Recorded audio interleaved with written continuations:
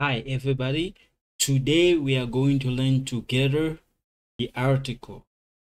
Thank you so much for uh, taking your time to subscribe to some of my video and then um, ah so bonjour à tous j'espère que vous allez super bien mbote na bandeko nyonso tu bazali kolanda ngai bipai oyo ngonga na te matondo mingi mpe na ndenge bozali ko abone na emission na na ba video na ngai mpe na emission na ngai nzambe apambola bino apesa bino oyo bozali alors lelo tokolobela baarticle eh, oyoka ngai na koloba mosusu na koloba mwa moke na nini na anglais na lingala mpo bocomprendre malamu eh, mpo eza na bandeko mosusu babaka lingala français te eza bandeko mosusu bayebi français eza bandeko mosusu mpe bayebi français mpe baanglais te na kosala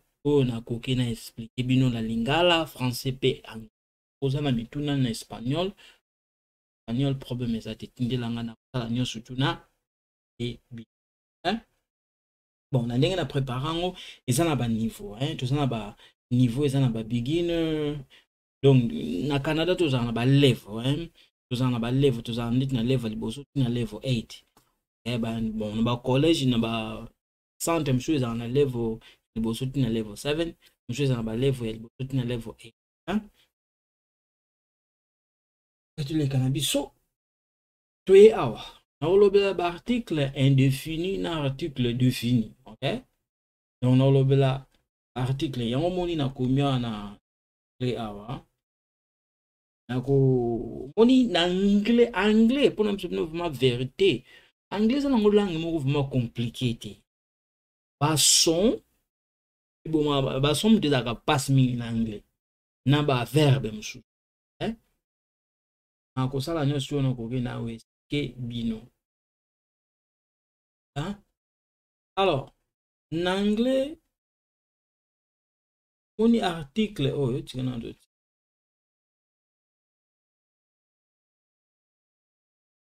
oyo eza, eh, arti, eza article defini tozobenga zda na, de, na liboso na van nini ya na voyelle toloba yango lokola d ok ndeti naloba pomme apple naloba naloba the apple non the apple eh, donc ba voyelle na anglais tozalaka ndeti na o toza na i toza na e toza na u ba voyelle eza na mais ba, ba son mosusu mpe ba, ba, ba, ba consonne mosusu mpe esonaka lokola ba voyelle eh, donc faut kokeba mwa moke partout article indéfini na anglais na, na français eza lokola bon ar, euh, article défini na français eza euh, eza lokola le la l apostrophe na le ya ya, ya, ya nini ya pluriel l'article indéfini eza lokola un une na deux ya pluriel donc e e na s hein? alors na na anglais sam toutilize yango mpe lisusu lokola de oyo ya pluriel ok naloba de ya lettre te non ya nini ya, ya nombre te okay? ka toleka na biso oyo the eza article défini un and un oyo eza article indéfini ok nakokota na badetail après mpo bocomprendre yango moni nakomi awa use n in front of the words beginnings with the vowel vowel na, na français eza voyelle hein? oyo oyo yo eza voyelle eza lokola ndeti a e eh, eza lokola ndeti i eh, i eza lokola ndeti baoyo ok eza lokola bavoye po y mpe bon okokota na badetail après ok nakokota na badetail après napesi kaka mwa exemple bocomprendre oyo eza bavoye consonne eza lokola ndeti ozoloba n m uh, t uh, t p s w baoyo ba consonne ok moni neti t na d ntango ezosone na anglais okokeba t na d moko nango esonaka makasi moko nango esonaka moke hein? alors lo wana osi nakota na badetail après ok ezaka mpona koexplike bino sikoyo ok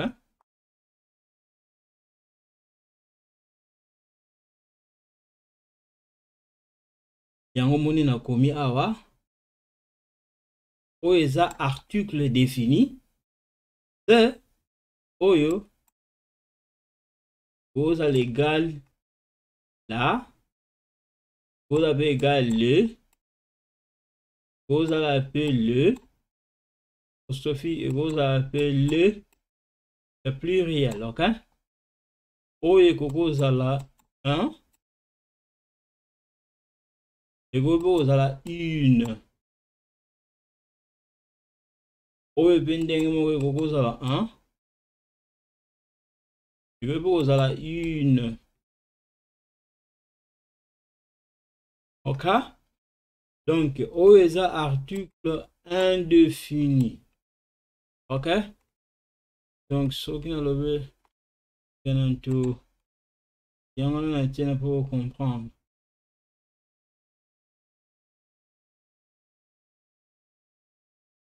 alors ka toleka na biso yango natie awa nka yango omoni natie awa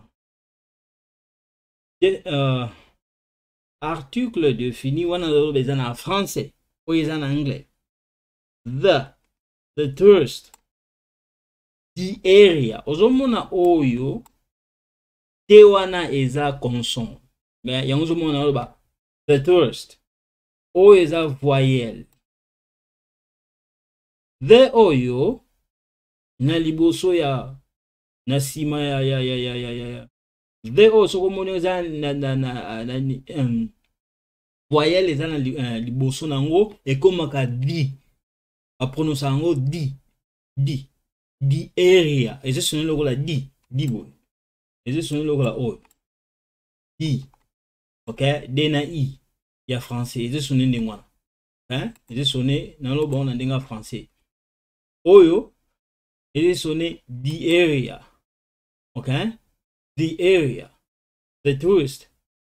the area, the card, the hotel, the restaurant, the people, the sign. Hein? Sikoyo article indefini oyo yango toloba a tourist an area awa otie liaison an area a card hotel omoni raison olie ke totia oyo me totie oyo eza problème eza eza problème problème ya son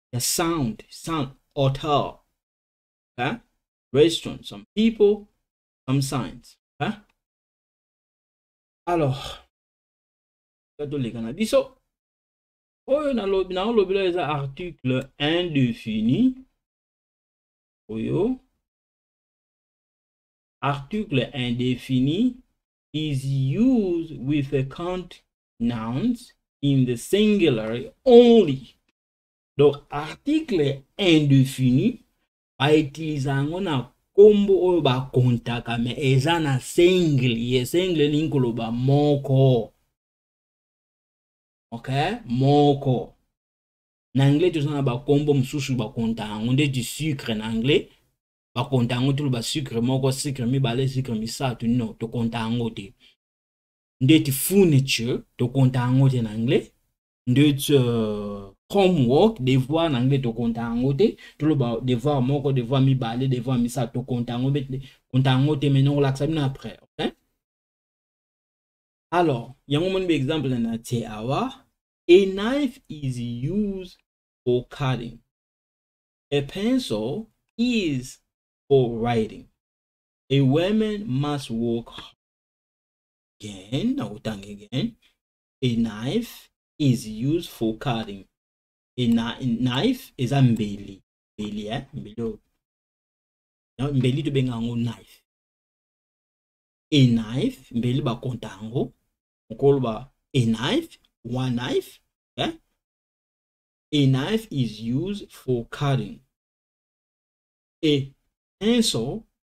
eza crayon oyo eza crayon na anglais a pencil is for writing a woman eza mwana mwasi mwana mwasi moko yango nomoni tolobi lokola une femme une femme hein?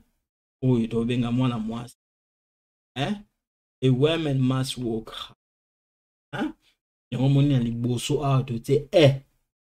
moni yango na totie eh, na koexplike bino après toye awa tozokontinue kaka tozolobela indéfini article indéfini oyo eza na anglais is use yango na tie awa mpo bocomprendre lisusu eh, soki tozongi mwa moke awa awa nazolobela yango eza lokola généralité eh?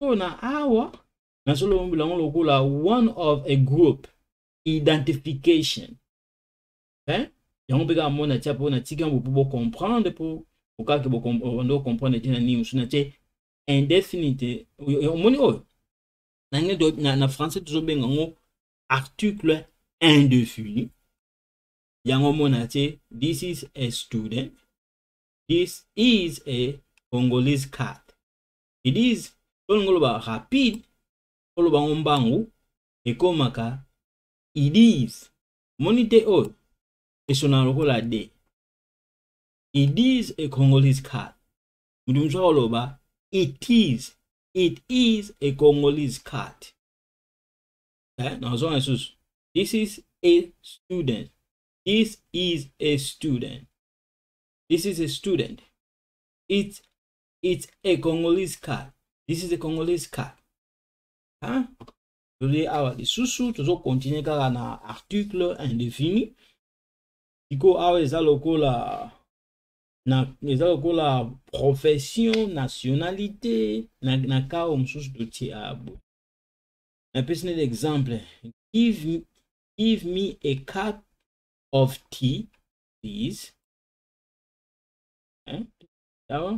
i need a 10 dollars bill she's an english woman awa otie liaison okay? she is an english woman she's an english woman peter is a doctor peter is a doctor huh?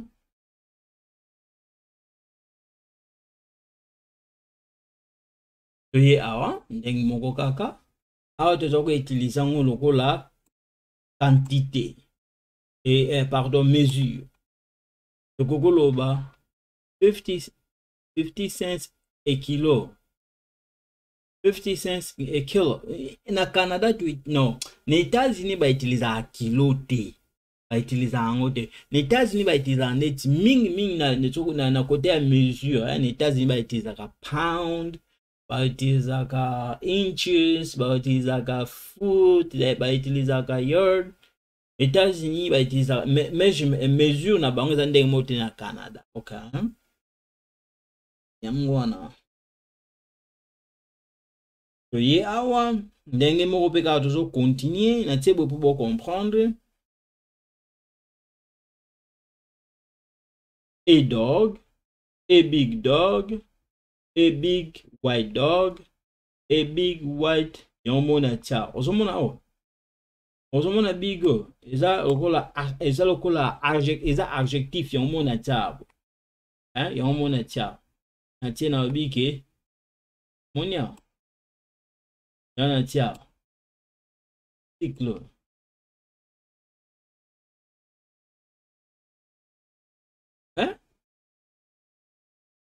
natie mpe uh, nini na ngai ya sika regle na ngai eh? na yango moi nakomi awa usually before a singular account noun with an adjective before it, before it. example yango moi natia a windy day a smart woman a great day eh? yawa ndenge moko mpe kaka to tozonga na moke toye awa long vowel nde kolobela yango long vowel bavoyele oyo ya milai omoni nde etyala na bi oyo oh, sozoba university university u university ozomona u wana ezosone molai university e university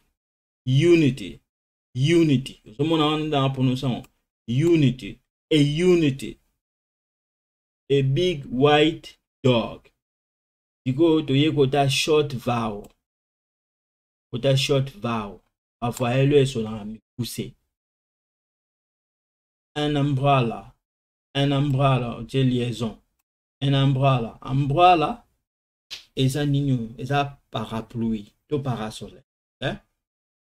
sikoyo un orange orange un orange un orange eh?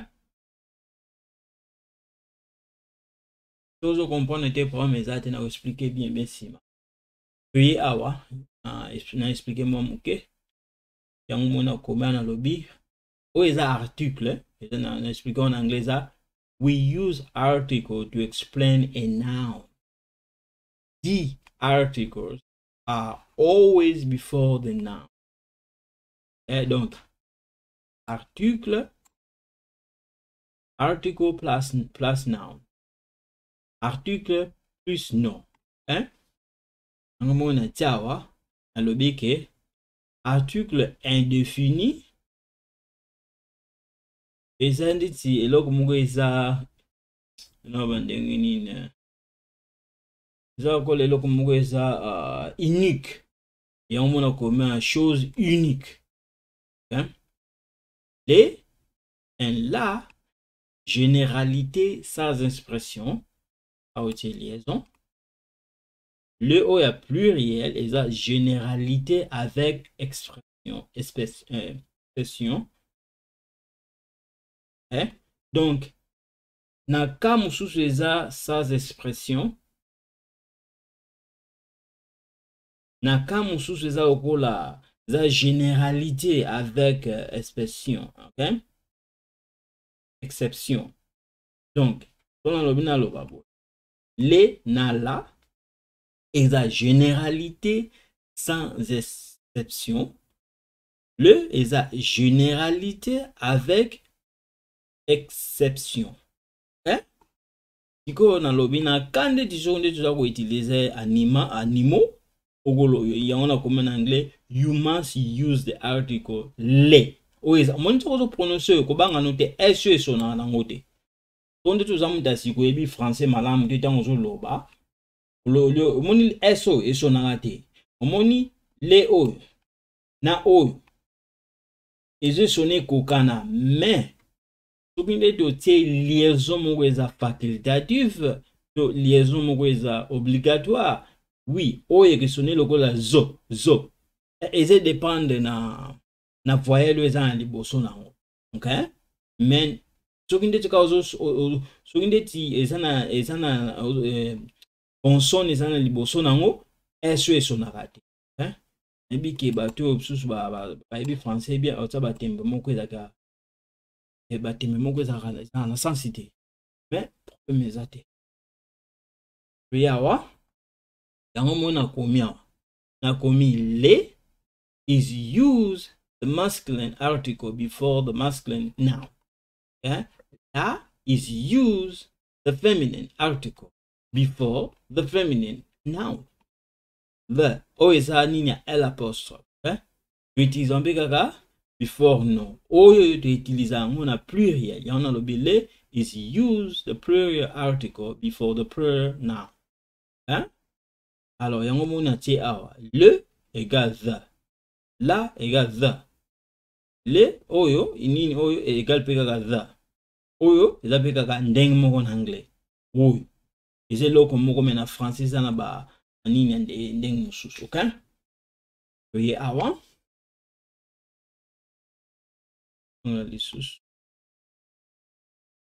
yango momoi kaka natia mpo bocomprendre nalobi lokola lesu exemple natia lesu eza peni peni ok bambongo moko ya nini na pluriel lesu ok s oyo ezesone te na pluriel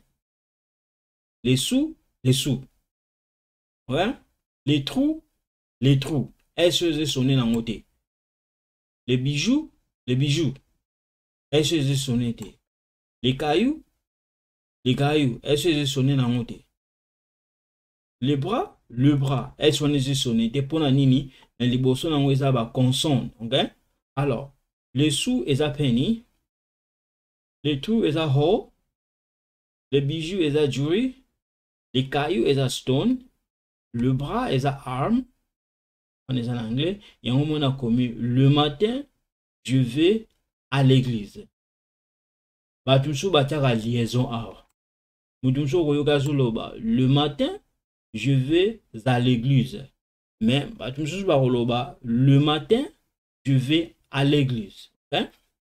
eza dépendre na afrique bato na bato baza na ba accent na bango moto mosusu okoyoka koloba le matin je vais à l'église hein? moto mosusu okoyoka koloba le matin je vais à l'église ok batie ba, ba liaison mais nga nazala mpona juge bato le soir gulin va au cinéma gulin sera ici le 10 août hein? donc le tokoki mpe koutilize yango kote mpo na mwa me nazoloba nango bino bopo bocomprendre nao na français mpo eza na bato mosusu bayebi français malamu te eh, yango monekela ndenge na explike bino nano mwa mbango mpe na français mwa moke nazongela mwa moke nano na français mpo bocomprendre donc nakozongela lisusu le moni le oyo toutilize yango na bakombo oyo eza masque tana bamasque eza lokola ko neti mwana mobali femine eza lokola nina mwana mwasi hein? alors ntango ozoloba lesu donc mbongo wana eza na genre moko ya masculine lesu eza na pluriel alors ozomona s eza na suka le trou le trou le bijou le bijou le caillou le caillou le bras le bras sikoyo na ntango nayo basynthèse eza phrase eh? oyo eza phrase na français le matin je vais à l'église le matin je vais je vais à l'église le soir Gulin va au cinéma Gulin sera ici le 10 août donc bato mosusu batyaka baliaison mosusu baotya liaison te ezodépendre eh, mais ngai na jugea te donc juge te mpo ezalaki ma bien vraiment te ko jugea bato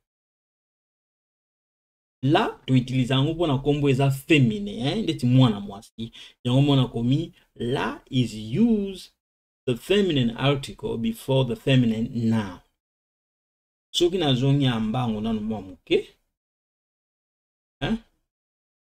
moni le oyo eza masculin eza genre eza nkombo moko eza ndeti ya mwana mobali eza lokola article moko ya mwana mobali yango tozoba masculin sikoyo na, na liboso omoni nde te awa su ntango naloba su oyo su oyo eza nkombo moko eza ya mwana ndeti ya mwana mobali bato bayebi français bien te mpo bacomprendre ke nakoloba lesu mpo nkombo wana eza nkombo moko eza na masculin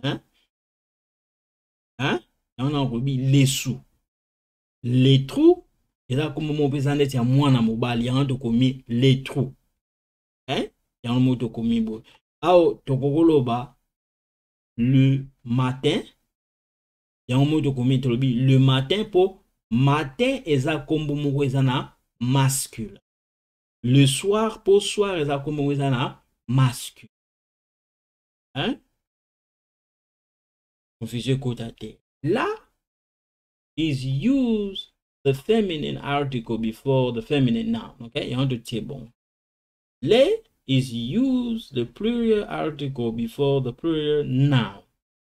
Eh, yango mona komi la voix, voice in English, la peau in, la fille, girl, la table, table, na français, le, euh, na pluriel eza le table.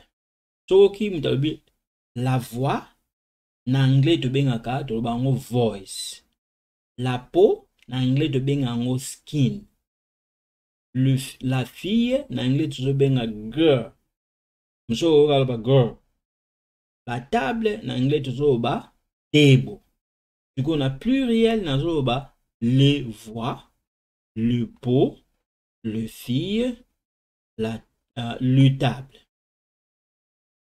po mo oyo eza eza eza eza ba mo moko eza na femine mais na pluriel omoni soki otali bien awa eza ya kochange te soki otali bien eza ya kochange te soki otali ya bien change mais biloko nyonso nalobela notanga na kopesa bacours ya français okay?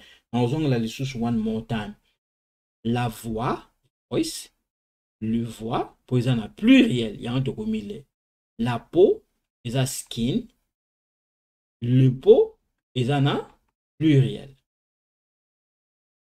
La fille na anglais tozobenga que na pluriel toloba les filles. La table eza na féminin na pluriel toloba le table. Yango mona komi a nalobi la France ne pas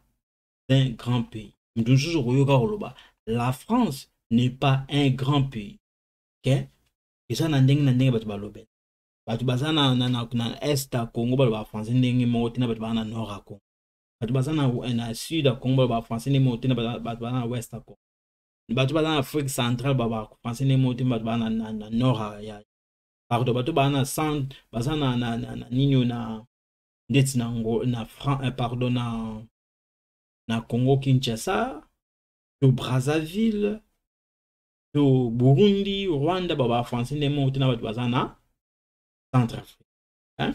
nga nazala mpona kojuge nde nalobaki ba accent bato donc soki olobi la France n'est pas un grand pays mosusu bakoba la France n'est pas un grand pays moto ozo akozwa te liaison awa eh, ba liaison mosusu nde nauta koloba eza ba liaison moko facultatif mosusu eza ba, eh, eza ba liaison moko obligatoire me biloko wana olobela wana cours ya français ok oyo eza ba cours anglais hein? yango mosusu natie awa hein?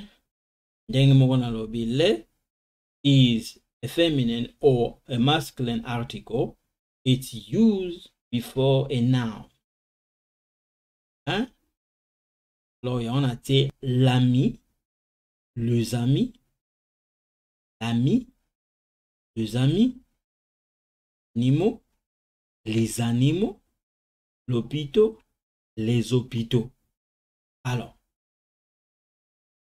soki otie liaison omoni awa nazotia liaison l'ami eza friend na euh, camarade no mpe ya mwasi na anglais tobengaka friend camarade na ngai ndeti ya mobali nakobenga mpe nakoloba friend camarade na ngai mpe ya mwasi nakobengi kaka friend na anglais eza ndenge moko sikoyo na français ami oyo eza lami oyo eza lokola a camarade ya mwana mobali na pluriel tololoba les amis lami oyo soki oyoki bien oyo eza esone te na suka eza ya camarade ya mwasi ya mwana mwasi na pluriel toloba les amis hein?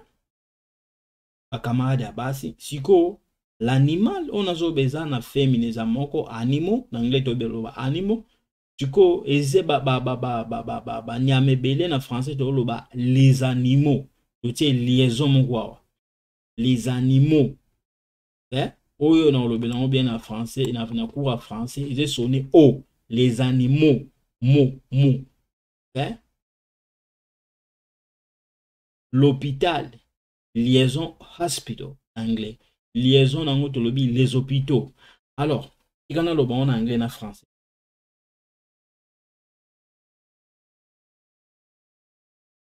l'ami hein? l'animo nimo l'hôpital hospital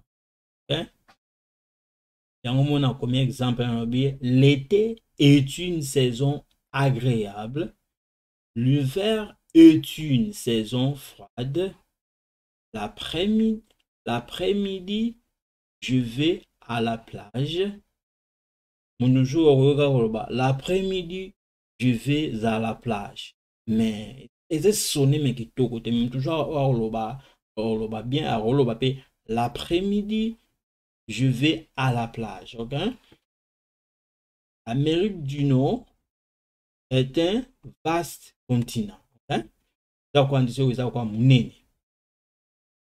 j'aime le chien j'aime le chat hein? ye awa yango omoni na tie ntango lisusu okomprendre ini eh, nakomi art, article article we use article to explain a noun the article are always before the noun okay? Eh? yango na, na anglais oyo oh, na anglais tolobenga english toloba english article plus non donc naoloba article plus noun noun article plus non to na anglais e yango mona tie oyo un and une oyo eza na anglais oyo mpe eza na anglais eza kaka ndenge oyo na anglais na, na, na, na français eza na basignification mibale yango mona atia mpo bocomprendre ok natie bo mpo bocomprendre oyo eza na anglais oyo eza na anglais oyo eza na eh, pardon oyo eza na français sorry oyo eza na anglais eza kaka na anglais eza na anglais eza na anglais eza na na français hein? mpo bocomprendre hein? confusion ekota te so bo comprendre te otindeli nga message na korepondre yo kitoko tala yango bien tala bien ok yango oyokaki tanga ba a university a unity ntango abaki wana ozo comprendre wana tia une ami wana eza na eza ami oyo eza na uh, na na nini ami na yo ya mwasi okoloba une ami mpo moyo tya liaison eza te mais soki olobi un ami eza camarade mobali na tie liaison wana un ami un arbre ozo comprendre mais na explike biloko wana nsima mpo wana eza français yango omoni na, na komia na français na komi nalobi ke un j'utilise avec un nom de genre masculin une j'utilise euh, pardon un utilisé avec un nom de genre masculin, une utilisée avec un nom de genre féminin, deux utiliser, avec un nom pluriel de genre masculin, un féminin. Hein? on un hein? devant une voyelle.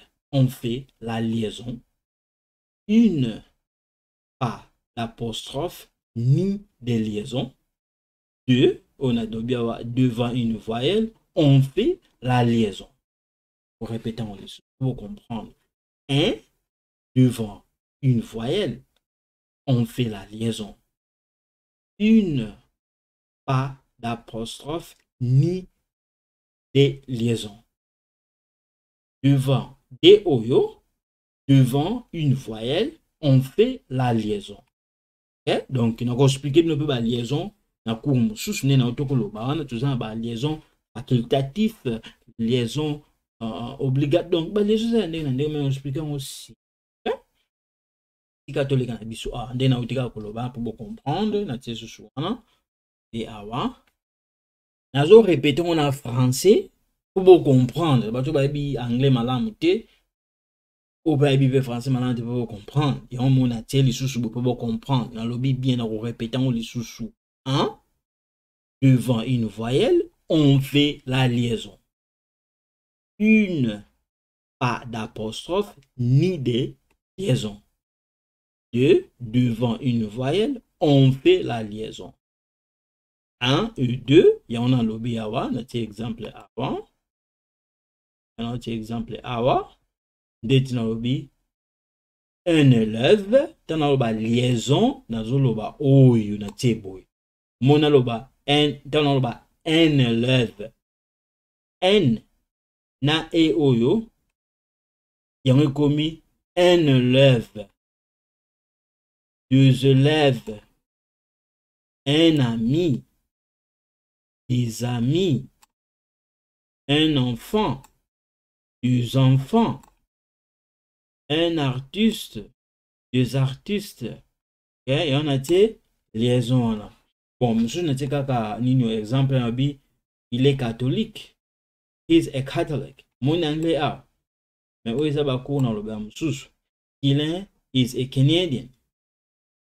Guylain is a Canadian. Ozomona e oyo. Ozomona ngo. Ozomona awa. Tango oloba Guylain est catholique. Na français oloba te que Guylain est un catholique. Non. Oloba bongo te. Oloba Guylain, oloba Guylain est catholique. eh, po il oh, eh, bon nakoexplike no bacours mosusu naosala bo mpo bocomprendre bato bayebi français te eza lokola nazo aide bango mbangu mbangu mpo bacomprendre ok alors sikoyo ntango nazoloba il est catholique is a catholic omoni na, na anglais toza koutilize article awa un, uh, uh, uh, article indéfini okay? donc au lieu que naloba il est un catholique na français oyo balobaka bongo te olobaka il est catholique sikoyo na anglais nazoloba he is a catholic he is a catholic a catholic a catholic he is a catholic he is a catholic okay?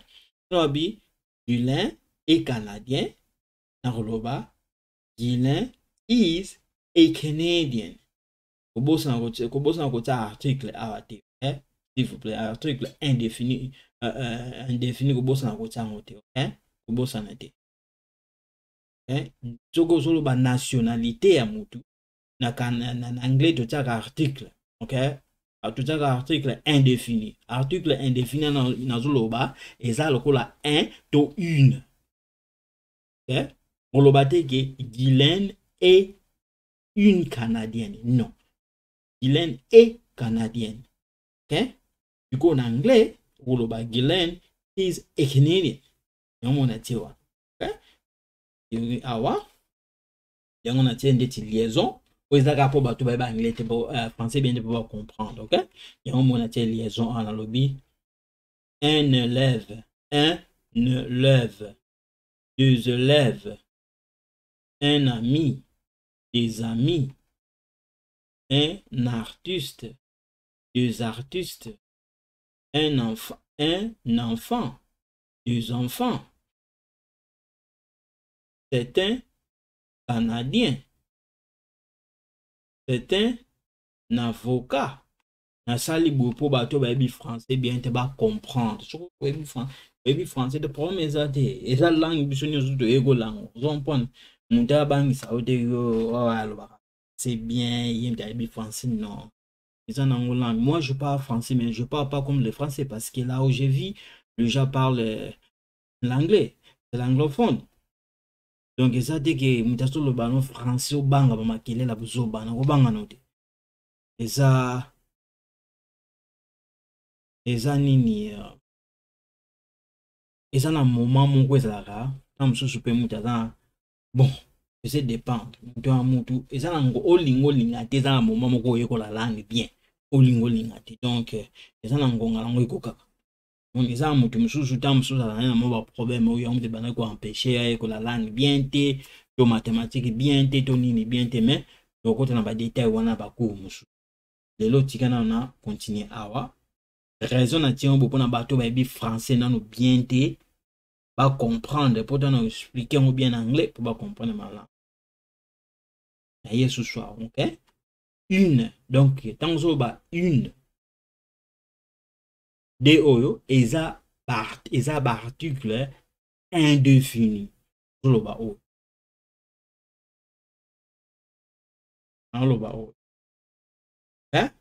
donc une pas da, uh, une pas d'apostrophe ni de liaison lingi koloba ke okoki ota li, uh, liaison te na kati na yango te nino totaka liaison te loba nde soki eza na pluriel oui ntango outilize deux okotia liaison mo ndeti awa naloba une monti naloba une élève liaison eza te moni entre awa na awa awa na awa liaison eza te yango nalobi une élève mais soki ezalaki na na nini oyo na masculin nakoloba un élève soki lokola eza na feminin nakoloba une une élève ntango eza na pluriel nakoloba des élèves sikoyo ami soki eza ami ya mwana mobali nakoloba un ami nakotia liaison lokola eza na, na mwana mwasi nakoloba une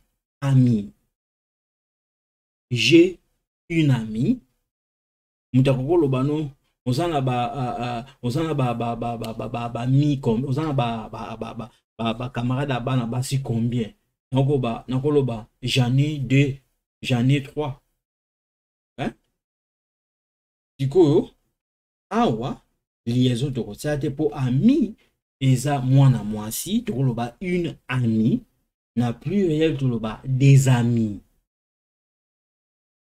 ndenge moko artiste tokoloba te ke lokola soki eza ya mwana mwana mwasi toloba une artiste soki eza mwana mobali toloba un artiste soki totiango na pluriel toloba des artistes mwana mwasi ya moke ya mo, eh, mwana mobali ya moke tokoloba un enfant mwana mwasi ya moke toloba une enfant liaison eza te mais soki eza na pluriel toloba deux enfants ok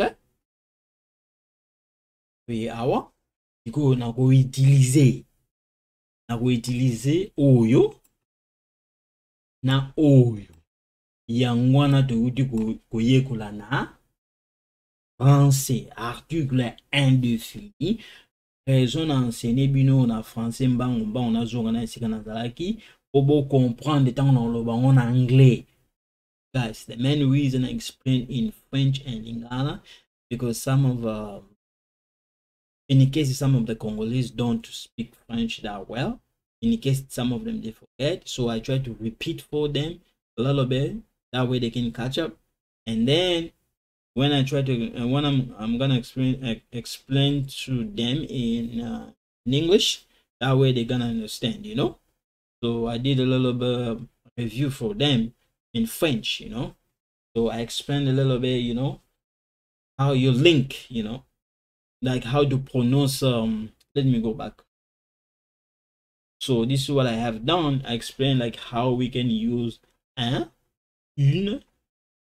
to okay so i explain some of the stuff here in english uh, so in french for them to understand first now when i'm gonna explain in english it's gonna be easier for them okay?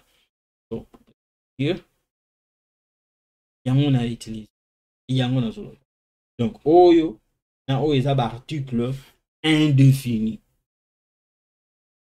yango mona komi ana lobi e and a are used in front of a singular account noun eh? oyo nakolobela bino yango eze kota te using a is in the front of a word that begin with the vowel A, E, I, and O. So that's why I put a, uh, a lot of detail here for you guys And okay? Yangomona kumiapo.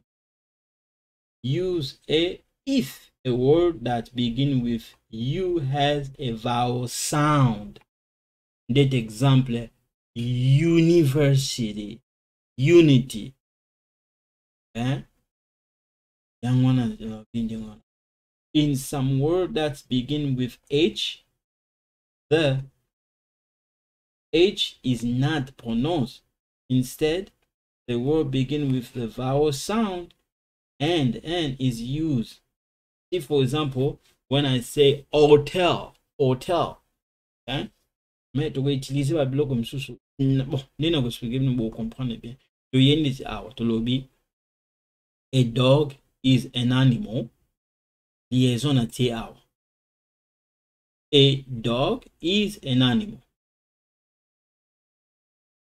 omoni ntango nazoloba na exemple moko napesaki nalobi toza koutilize un enfant une enfant un enfant eza na masculin mpo eza ya mwana mobali une enfant une enfant eza na singulier féminin un enfant eza na singulier masculin hein? sikoyo na ka oyo toza kotia liaison soki toza na oyo oyo oyoki nde naoba a dog is an animal an animal pindi works in, a, in an office totie liaison awa mrs mrs corey is an old woman Heather has an uncle. Sue, Amy, Heather, and Abby works at a university. I need an hour liaison, tu sais, liaison hour. Hour pour liaison. Hour pour liaison. Hour pour mon liaison. Sue, Amy, Heather, and Abby works at a university. Sound, is not a sound that you. Monde a juste sonné you. Okay, eh? is this only name one? You. I need an hour to finish my homework. Heather lives in a house. He lives In hotel. e ekoki kozala yango mona te na français awa un ou une oyo eza mpe ka un ou une ok natia mpo bocomprendre confusion ekota te natie exemple awa nalobi eve is eating bla bla bla apple réponse eza nini an apple eve is eating an apple Corey is eating blah blah blah banana. Corey is eating a banana. So uh, I have blah blah blah idea. I have an idea. Heather works in blah blah blah office. Heather works in an office. Martin is talking to blah blah blah man. Martin is talking to Amen. Linda is talking to an almond. So out here is an apple. Eh? Is an apple. Here is a banana. A. Here is an idea. Okay. Here is an office. Here is a man.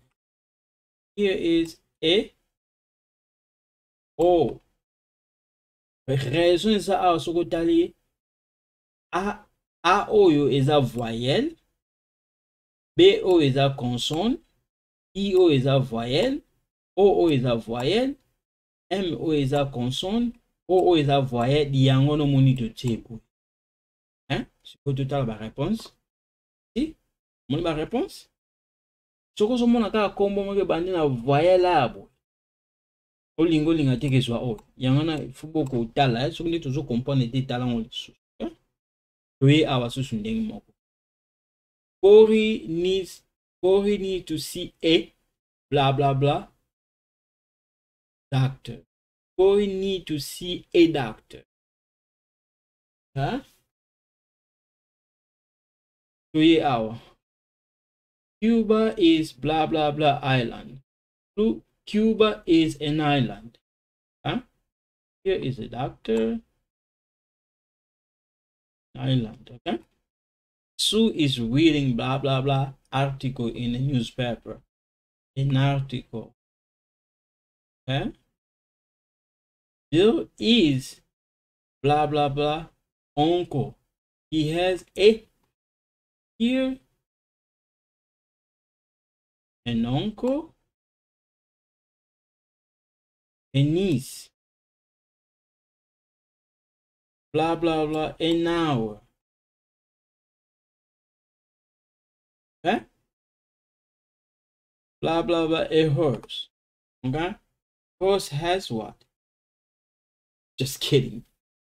alors sikoyo tokotala bareponse ndenge ebimi esi ozomona bareponse raison oyo eza awa e oyo eza awa eza ke sound h oyo eza miwe uh, mi, uh, uh, uh, uh, uh, silent eza esone nde awa horse okay? yango wana okay? toleka na biso ndenge moko mrs linda has a job She has an usual job. A university is an educational institution. Hein? Veuillez avoir les sous-sous. de Tirana.